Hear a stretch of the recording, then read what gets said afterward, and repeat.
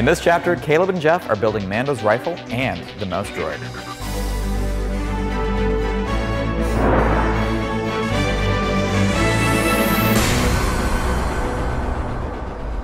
Welcome to Chapter 7 of our Mandalorian series. Over the past couple months, Hacksmith Industries has been piecing together our very own Mandalorian suit. In Chapters 1 through 6, we built the flamethrower, the blaster and the spear, the helmet, Baby Yoda's cradle, the jetpack, and the grapple gun. We're getting so close to the epic finale where I don the suit for the first time and put it to the test. You definitely don't want to miss this. Now it's taken a ton of work and ate up most of my spare time, but I'm almost finished with the armor. That build is coming up soon and will be available early exclusively to members, so stay tuned for that. If you're not already a member and want early access to that video and future videos, click the link below. And if you've been enjoying this series, why not grab one of our limited edition Hacklorian t-shirts, available from hacksmith.store. A long time ago, in a galaxy far, far away, they didn't have Roombas. Instead, they had the MSE-6, more commonly known as the Mouse Droid. Is this janitor on wheels an integral part of the Mandalorian suit? No, but as our old business cards used to say, sometimes we do things for shits and giggles. Look, it, it's cool, so we're doing it. But much like in the series itself, the MSE-6 is but a small part of this chapter. The main focus will be Mando's iconic rifle. Aside from the ability to evaporate Jawas, the rifle looks totally awesome, and really helps push the whole spaghetti western style of the show even more. Since he did such an awesome job on the spear in Chapter 2, we're going to be turning this design and build over to Caleb while I finish up Mando's armor.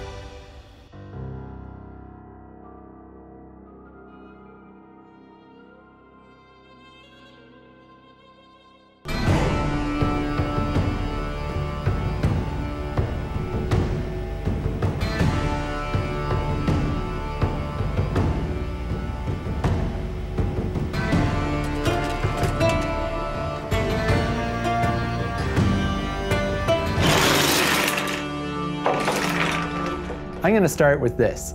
It's just a simple flare gun, but in our galaxy, that's as close as we can get to a blaster. As we learned in chapter 2, this will shoot a high energy, very hot projectile, which is excellent for our purposes. The only problem is, this is blaster sized. I need to make it rifle sized. To do that, I'm gonna have to design some parts and build it up. And to make sure it looks just like Mando's Amban rifle, I'm gonna need to go find some reference images. We aren't going to overcomplicate this mouse droid. My plan is to buy an RC car, tear the top off, and mount the new chassis on it. Easy, right? Let's go on a field trip. Right around the corner, we have Flite Craft. They're a local hobby store that's been around for 36 years. They have everything ranging from airplanes, boats, helicopters, and most importantly for me, a ton of RC cars. There are three things I'm looking for from the RC car. First, street wheel compatibility. The mouse droid has pretty slick tires. Street wheels, as opposed to knobby tires, are closer to this aesthetic. Second is 1 10th scale. We will be able to resemble the dimension and the size of the mouse droid as close as possible in real life. Lastly, it's two-wheel drive. I have concluded that two-wheel drive is more than sufficient to get the mouse droid moving, and honestly, four-wheel drive is overkill and way more expensive. I've decided I'm going with the Traxxas Slash. It is two-wheel drive and 1 10th scale. It does unfortunately come with knobby tires, but it is still street wheel compatible. Fortunately, they do have street wheels in stock, so I'll get a set. Let's ring it up and head back to the shop. People are constantly asking us, how do we get started in engineering? Which is why we are thrilled to partner with KiwiCo. So thrilled that we're giving our audience 50% off their first monthly crate. Sometimes, when you're small, it's easier to think big. That's why KiwiCo creates hands-on projects and toys designed to expose kids to concepts in STEAM, science, technology, engineering, art, and math. They believe that the small lessons learned today can mean world-changing ideas tomorrow. Each monthly crate comes with all the supplies needed, detailed kid-friendly instructions, plus an educational magazine for further learning. With eight subscription lines, each catering to a different age group and skill set, there's something for everyone. I may not have kids myself, but after completing a few of these crates, I can't think of a better way to get interested in making things. Check out kiwico.com slash hacksmith50 for 50% off your first crate. Any crate! Just click the link in the description below, plus you'll be helping to support the channel.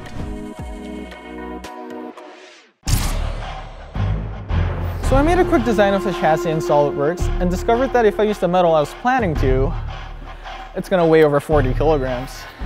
And while this car is tough, I'm not sure it's that tough. So we're gonna have to do some tests.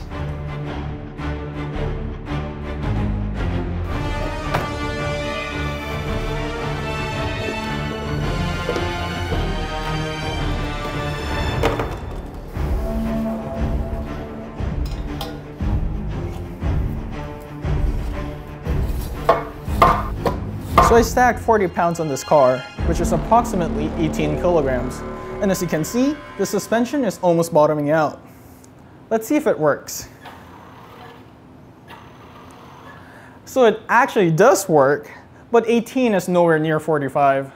Let's try to stack more weights on it. Oh my god, this is heavy.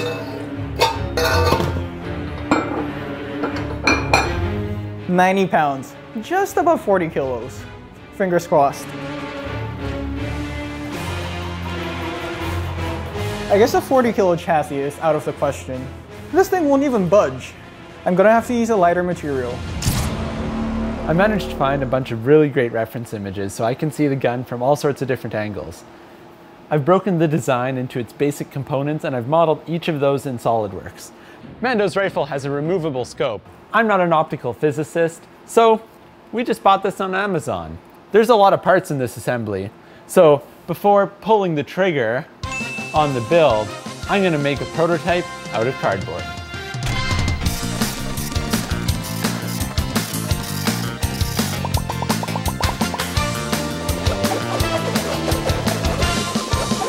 Cardboard prototype is all done, everything fits, and it's to scale. All right, Jeff, how's the mouse droid coming? Not too bad. I just bought a 110 scale RC car and I made a design of the mouse droid based on the scale of this car. It's gonna be made out of sheet metal. I'll be bending and welding the side panels and then I'll set it on the RC car. Isn't that gonna be a bit heavy though? Yes, initially I was planning to use a 1 8 uh, mild steel. 1 8 mild steel? Yep. And I realized that it's gonna weigh over 40 kilograms. So I had to make a new plan. I decided to use 20 gauge steel and that will only weigh about 15 kilograms. This car can handle it. Yeah? You did some tests to make sure the suspension Yeah, I put some weights on it. I put all 90 pounds on it. It didn't move. I put 40 pounds, which is slightly above 15 kilograms, but close enough. It worked. So how exactly are you gonna mount the sheet metal onto this? Well, I'm glad you asked. So if you see this, you can notice the four spokes on the RC car. So Okay. what I made in the design is a mounting bar that goes across the chassis. And Oh, that bar will just sit on top of here and I'll put a cap on top and it should be able to handle the weight of the entire chassis. Awesome. And these are fairly strong? Uh, they're rigid enough. It handled 90 pounds, so it should be no problem with 15 kilograms, All right, awesome. Are you gonna be able to drift this mouse droid? of course. Ooh. Now, Caleb, what do you have over here? What I have here is a CAD model, cardboard aided design. This is the back half of the Amban rifle. We got the stock and the receiver. And then I guess this is the barrel? Yeah, that's gonna be the barrel. This is gonna become the prongs at the front. Ah, okay. I'm also gonna be doing some woodworking. Woodworking. Lay out the cardboard That on the wood, That is something the Hacksmith channel hasn't done in years. trying to make it make it real. And in a galaxy far, far away, they still haven't figured out 3D printers, so we're gonna use real wood. The receiver is all gonna be made out of folded mild steel, so that's why I wanted to make the cardboard model to see how it folds and comes together. And I see we're using a flare gun again as a base, which is awesome because it looks like a blaster. How about the reloading mechanism? Can you tell me how you're gonna manage to do that? Yeah, so we have this metal plate, and it's gonna go directly over top of the barrel. This hole is gonna have a bracket welded to it where I can attach a string. The other end of the string is gonna be attached to a triangular portion on the barrel that's gonna act sort of like a pump action. So when you pull it forward, it'll put some force here, and that'll be enough to crack the barrel open. Oh, cool. Yeah, Yeah, because otherwise the whole thing would have to crack open like a like a flare gun.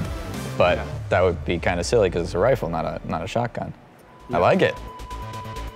Okay, these designs look awesome. Let's make it real.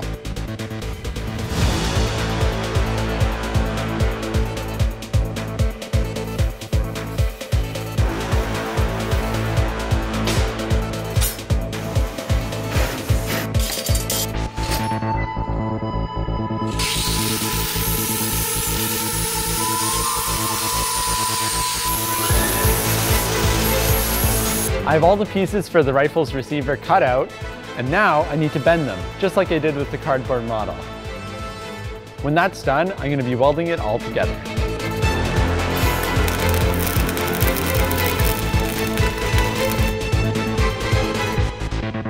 So I've got all of these parts welded, and this is enough to have it cosmetically looking pretty good. That looks a little bit more like an AMBAN rifle. Once we have the barrel cut, we'll be able to align everything and weld it all together.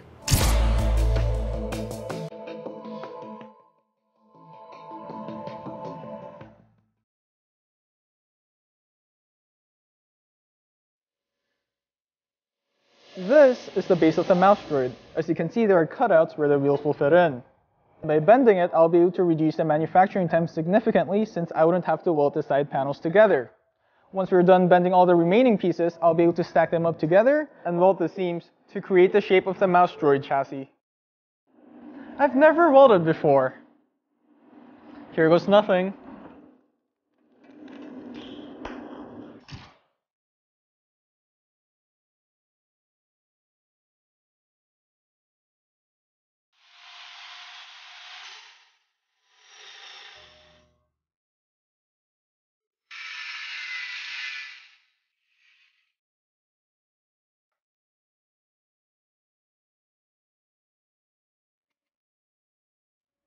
This is our barrel. The flare gun cracks open to reload the flares. So I've cut this on an angle so that when it cracks, it can just pull away from the bottom of the barrel and come back together, no problem. However, I don't want to leave my finger in there while I'm welding. So I'm going to use a drill bit with the same inner diameter as this pipe so that I can keep the drill bit inside and align these two pieces as I weld.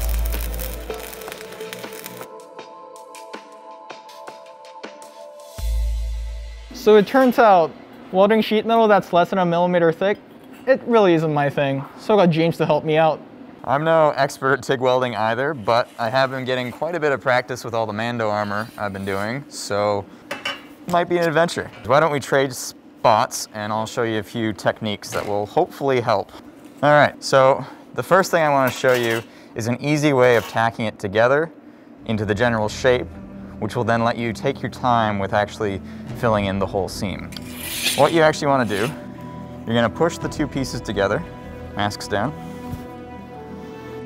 you're going to do a really quick tack, just like that. And you don't need to use too much power, so I'm not even pushing down on the pedal that much. Now, what we can do is we can actually bend this up gently into the angle we want. Just like that. So why don't we try doing a bit of a seam weld on the inside? When you step on the pedal slightly, do you just wait for the metal to melt or? Yeah, so basically what you want to do is when you're starting your puddle, you're watching it. And it's important that the puddle's forming on both sides of the metal. Yep. And when that happens, that's when you want to start dragging the puddle down very slowly. Why don't you try doing a little bead here?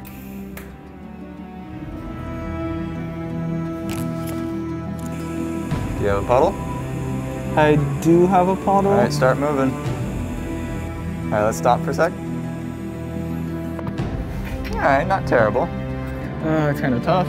I mean, people go to school for years for welding, and we're just trying to pick it up Like in our part time, yeah. so why don't we try one of the actual pieces? Step up the power.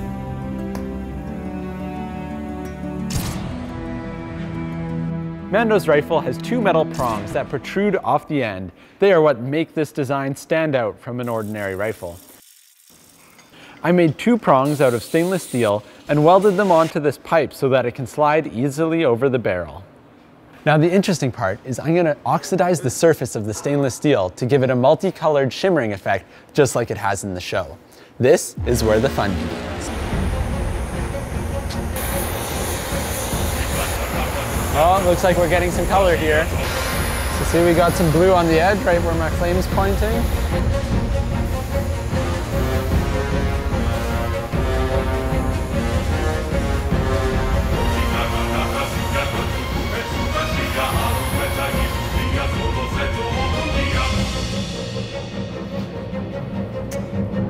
That looks excellent.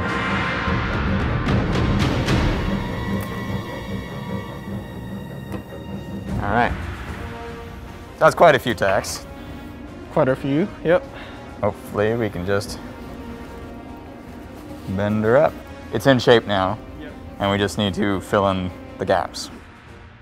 We might need a bit of help from the team because there's a lot of welding left, but I think if we work together, we should be able to get this all welded, and we'll be off to the races with our very own mouse droid. Sounds like a good plan to me. All right, let's start the montage.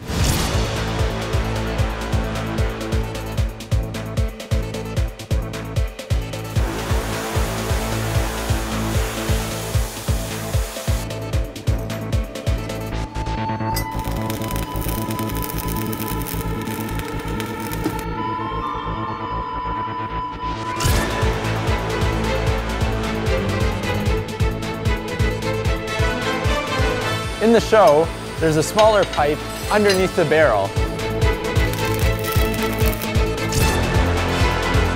Top's welded, bottom's welded, time to grind.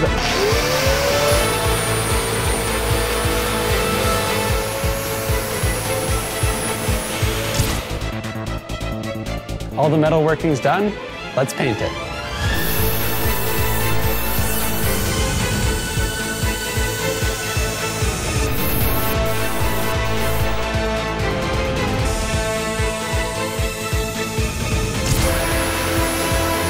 Edges are smooth, back to welding to connect the pieces. For the stock, I'm going to be doing some woodworking.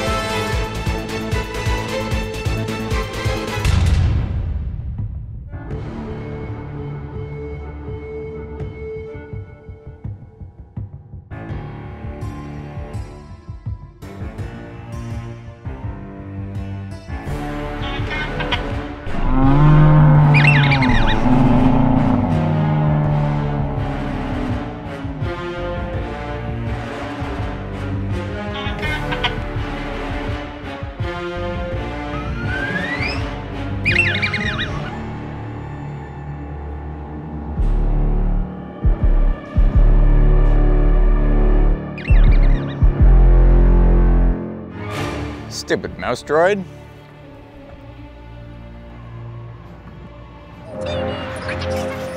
Husky Jawas? We got our droid. Sneaky scavengers. You take the one on the left, I'll take the one on the right. Most definitely.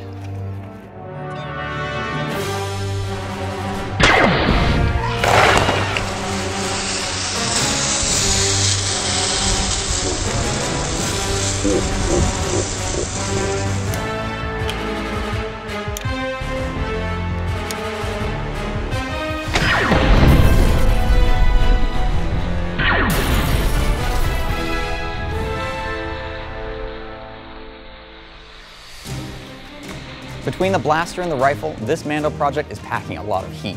And the mouse droid? Well, like I said, why not? But we all know there's more to the Mandalorian than just firepower. And in Chapter 8, you'll see what we mean. And if you just can't wait, become a member now for early access. This is the way.